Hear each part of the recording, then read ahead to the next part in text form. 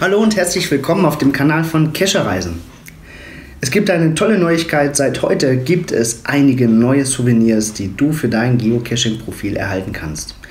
Was es damit auf sich hat, was du dafür tun musst und wo die zu finden sind, darum geht es im heutigen Video. Viel Spaß! Also, ähm, neue Souvenirs gibt es seit heute für die Geotours. Geotours sind Zusammenstellungen von bis zu 150 Geocaches, die oft an touristisch interessanten Plätzen sind.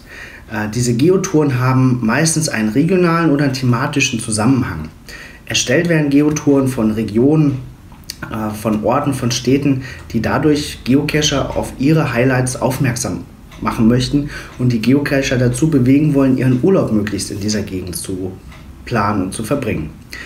Geotours gibt es derzeit etwa 80. Das variiert immer so ein bisschen. Die meisten natürlich in den USA.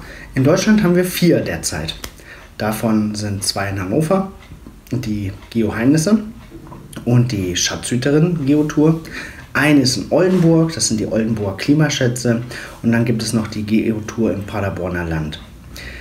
Ähm, von diesen drei Geotouren kann ich mit Stolz behaupten, dass wir drei davon gemacht haben also erstellt haben. Das ist ziemlich cool. Es macht uns sehr viel Freude, die Logs zu lesen und Leute hier in die Gegend zu ziehen. Für all diese Geotouren gibt es jetzt Souvenirs. Also jede einzelne Geotour hat ein Souvenir spendiert bekommen. Was du tun musst, um so ein Souvenir zu erhalten, ist relativ simpel. Du loggst alle aktiven und temporär nicht verfügbaren Geocaches dieser Tour. Wenn du das gemacht hast, kriegst du das Souvenir.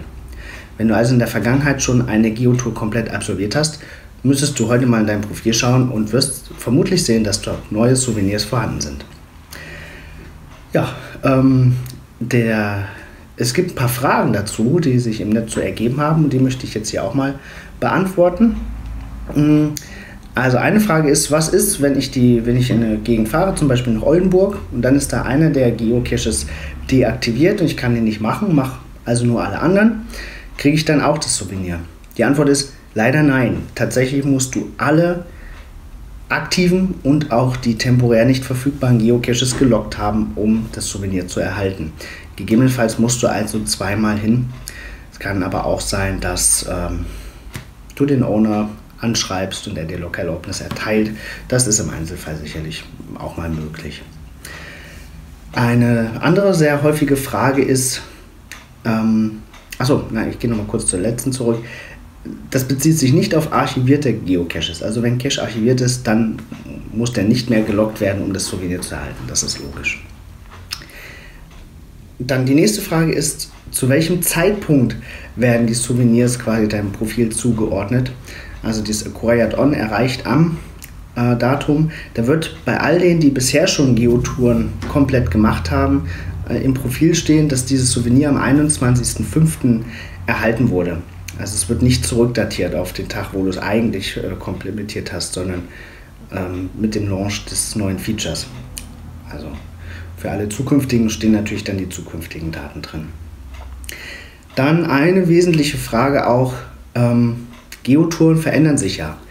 Wir als Geotour-Owner haben die Möglichkeit, einmal im Halbjahr neue Geocaches der Geotour zuzufügen.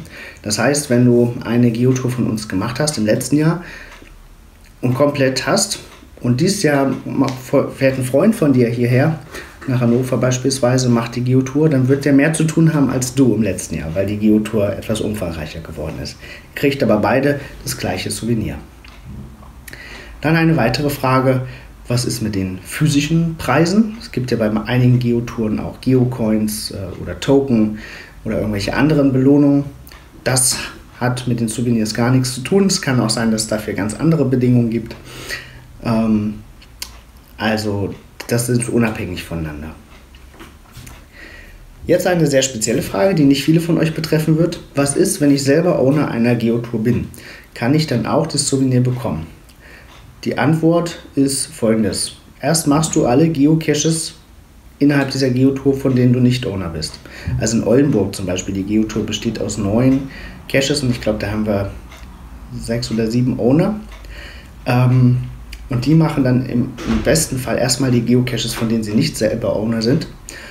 Und dann schreiben Sie an Groundspeak mit dem Username und der, dem Namen der Geotour ähm, über das Geocaching-Kontaktformular. Ähm, das verlinke ich hier auch und nochmal in, den, in, den, in der Beschreibung des Videos.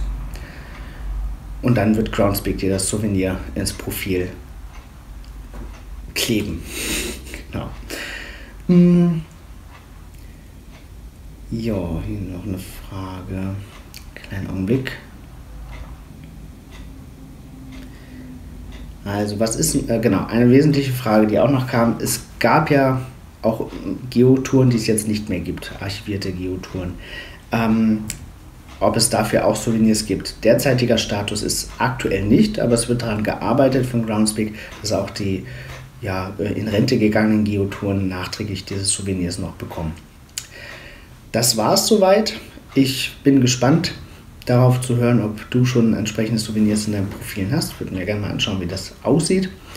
Ähm, und ja, ich, mich würde natürlich auch sehr interessieren, ob du jetzt wegen dieser Souvenirs vorhast, ähm, die Geotouren zu absolvieren, ob sich das mehr animiert. Schreib es gerne in die Kommentare. Bin sehr auf die Diskussion gespannt. Hab einen schönen Tag. Bis dann.